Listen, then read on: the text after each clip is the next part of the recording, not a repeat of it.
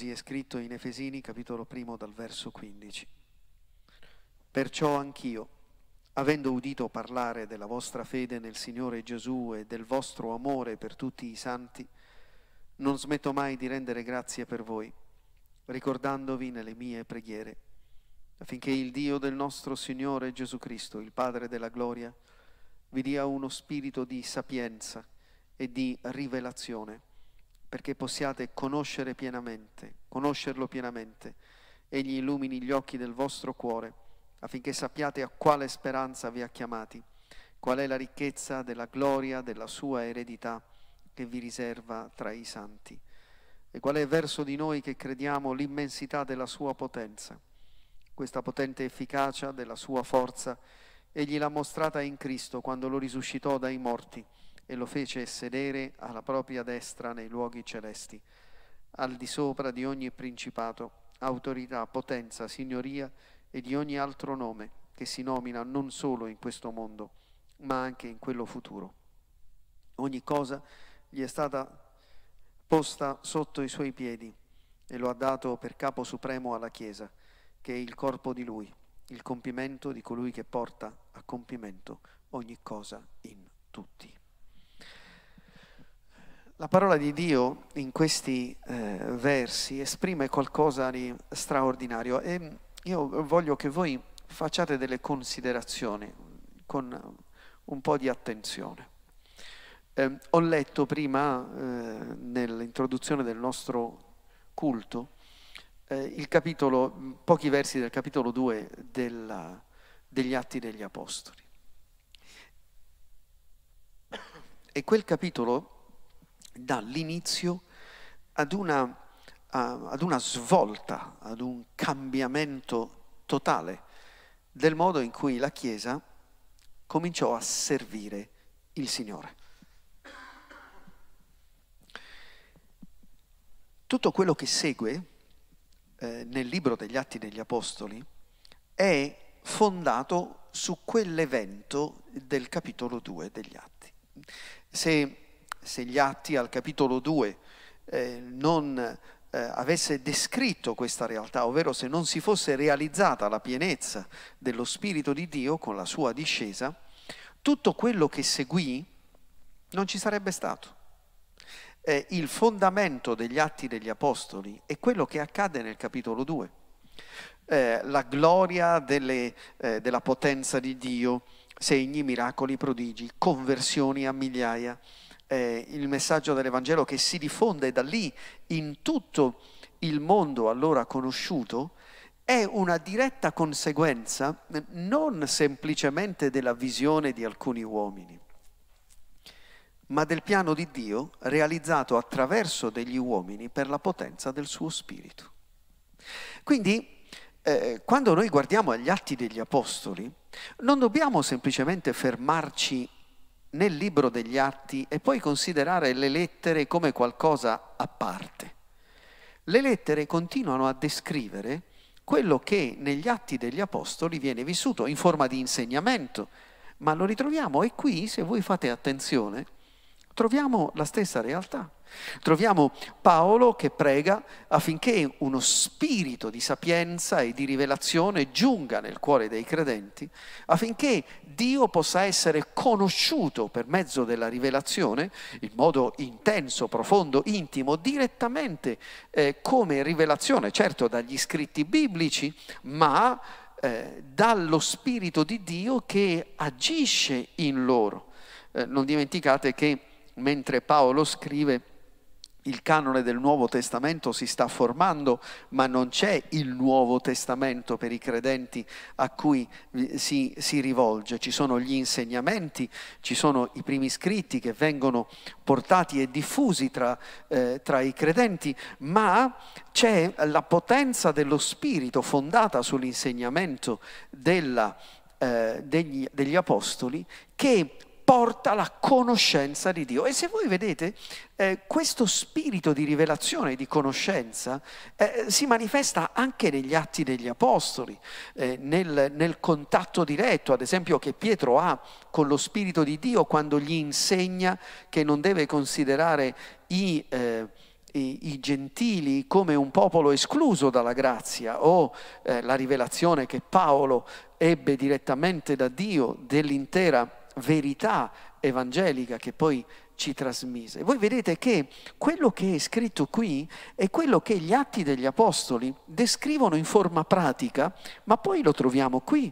Quindi questo insegnamento che parla della potenza di Dio presente, dell'eredità in serbo per chi crede, per la conoscenza che Dio vuole dare di se stesso molta profonda nel cuore di ciascuno di noi, è, non è qualcosa che è estraneo agli atti degli apostoli, ma che è vissuto negli atti degli apostoli e insegnato qui, qui, qui. E perché?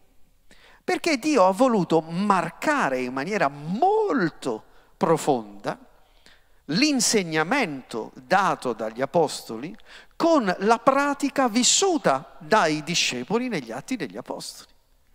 E quindi questo scritto è stato tramandato a noi ed è stato indirizzato prima agli Efesini perché essi potessero con Paolo e gli altri discepoli sperimentare quello che gli atti degli apostoli hanno descritto. Praticamente gli atti degli apostoli non, non vengono semplicemente rinchiusi in, quel, eh, in quell'insegnamento o in quei racconti storici, ma si espandono ovunque l'Evangelo giunge. Questo è il pensiero di Dio. E questo è l'Evangelo che ci è stato tramandato. Noi non crediamo ad un Evangelo diverso. Noi non crediamo che il tempo abbia fatto scadere alcune verità dell'Evangelo. Non riesco a spiegarmi. Come se allora si potessero vivere e oggi no.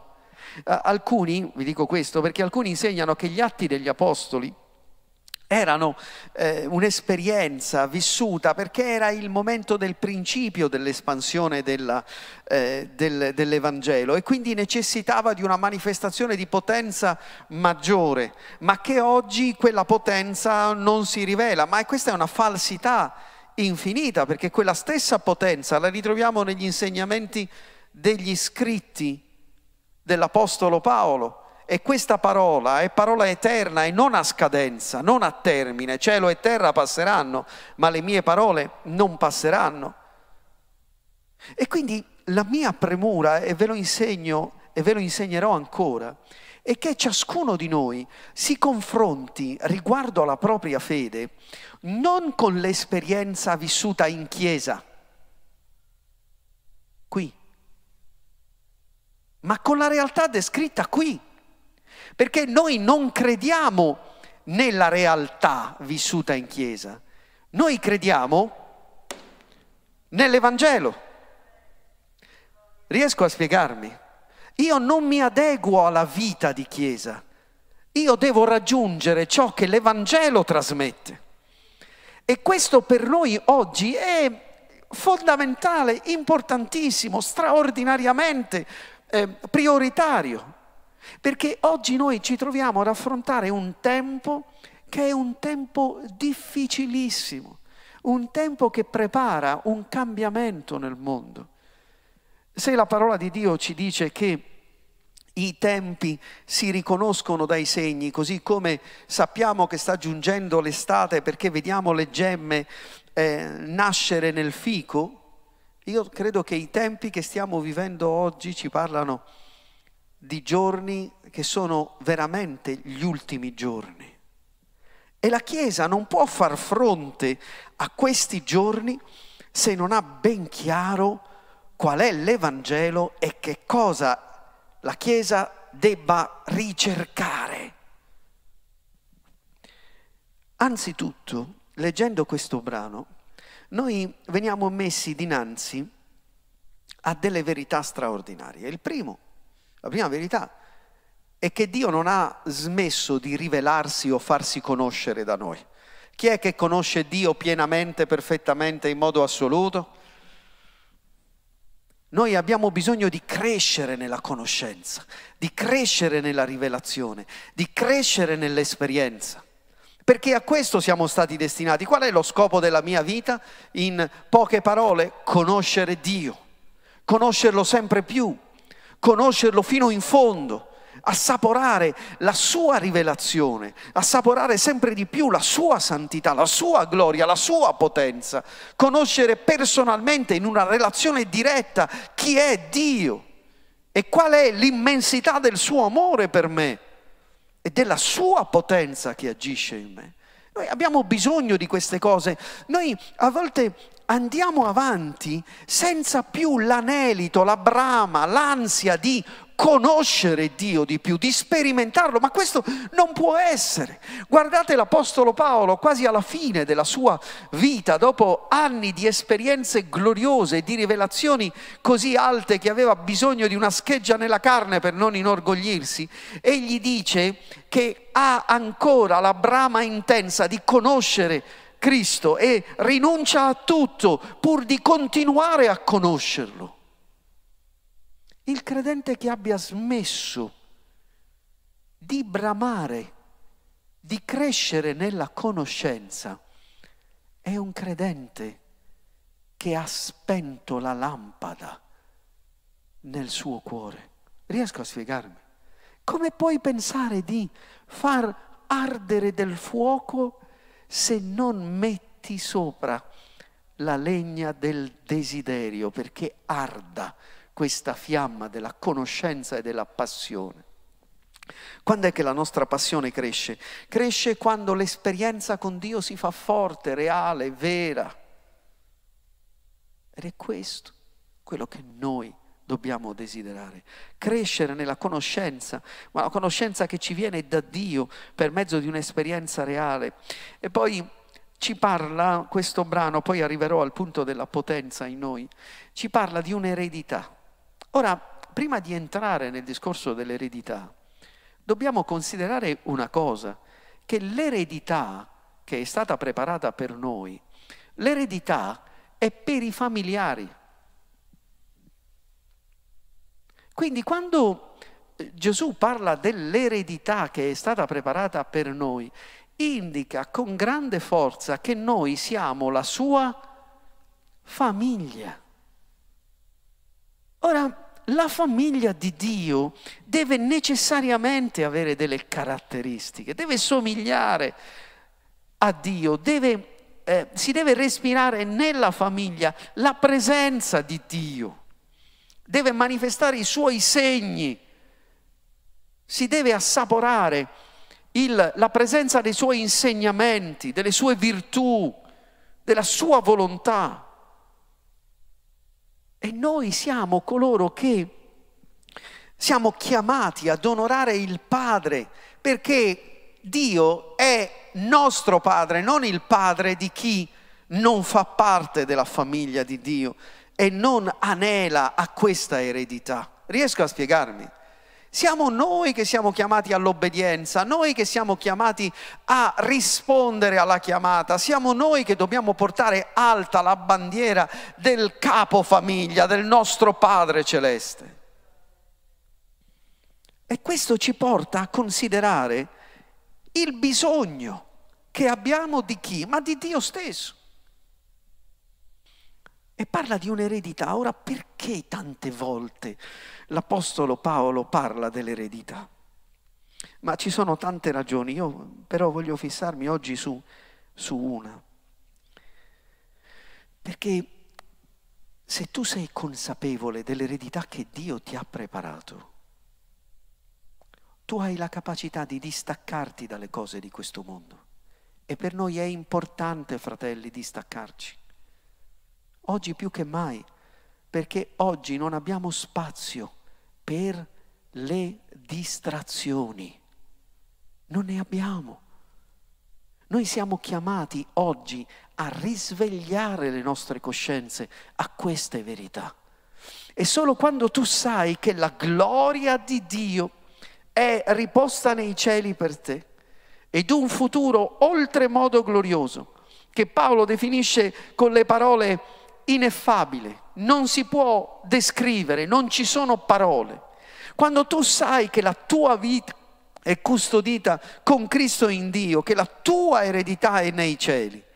Tu riesci a concentrarti su quello e non ti distrai con le cose che ti sono intorno.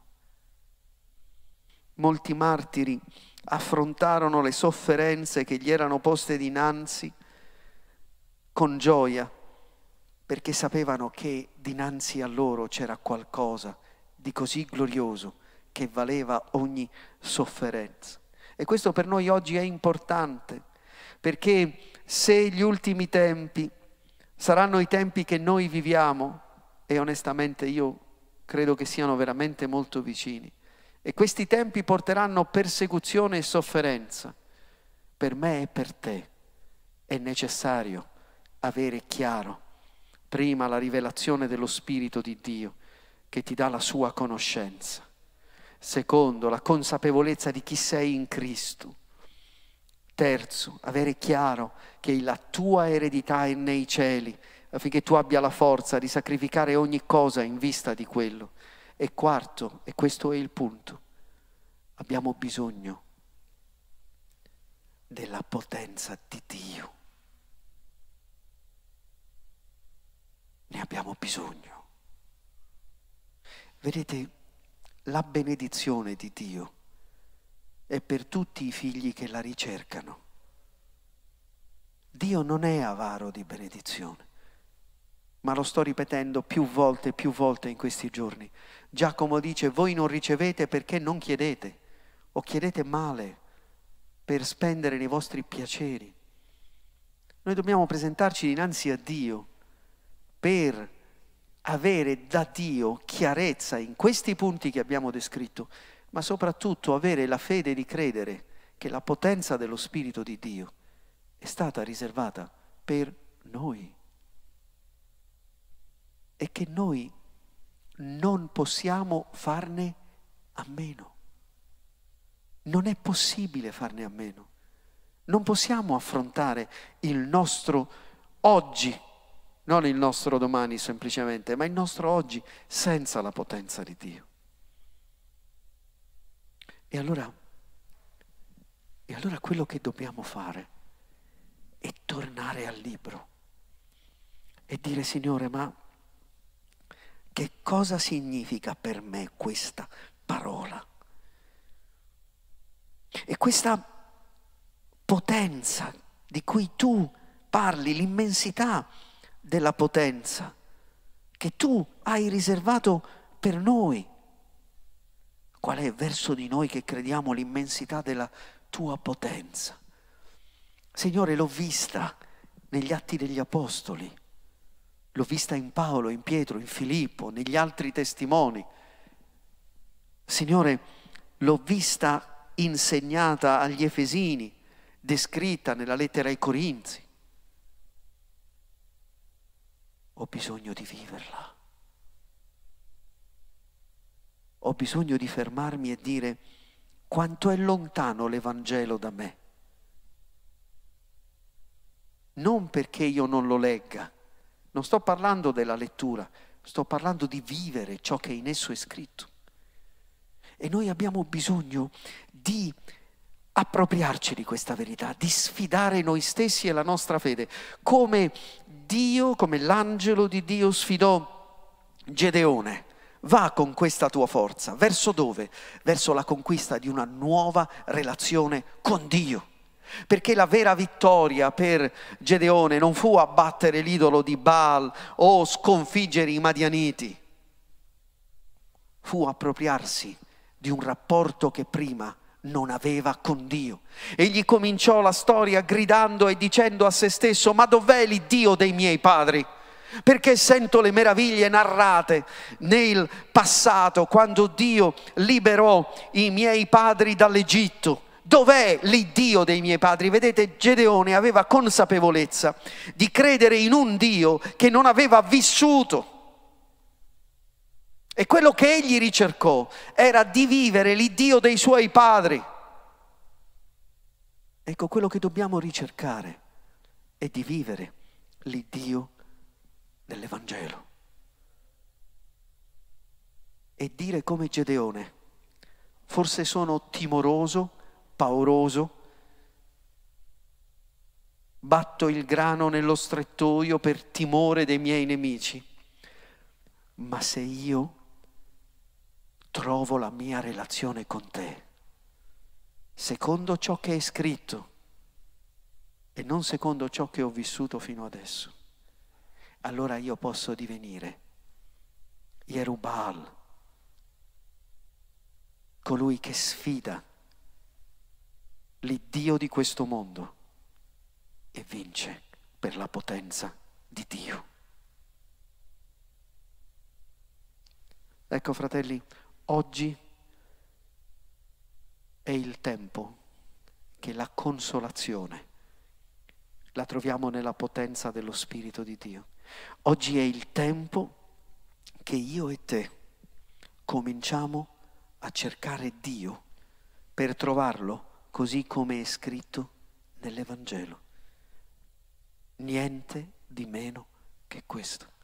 Fratelli, è un pensiero fisso che ho nella mente ed è un insegnamento che vi riproporrò ancora, perché la Chiesa deve destarsi, deve vivere quello che l'Evangelo ha promesso e noi abbiamo bisogno di scuotere le nostre coscienze e ciascuno dal canto proprio mettersi dinanzi a Dio, cercare la sua faccia per conoscerlo di più e per lasciare che la sua opera, mentre lo conosciamo, trasformi la nostra relazione con Lui e trasformi il Gedeone che è in noi in Jerubal e ci dia la capacità di divenire testimoni che manifestano la potenza di Dio che opera in noi efficacemente.